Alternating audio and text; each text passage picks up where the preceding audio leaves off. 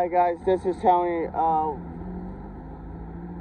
uh, at least I got uh, I got I, I got John Paul out here as of right now, and uh, we got ourselves a, a northbound that should be that should be pulling by, and here he comes. Here we go.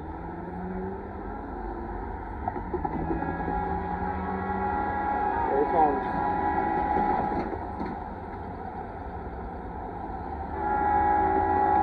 Here we go.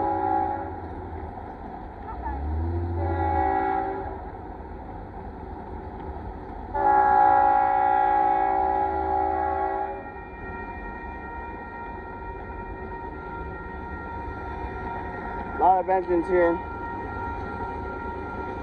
Let's see what we got here.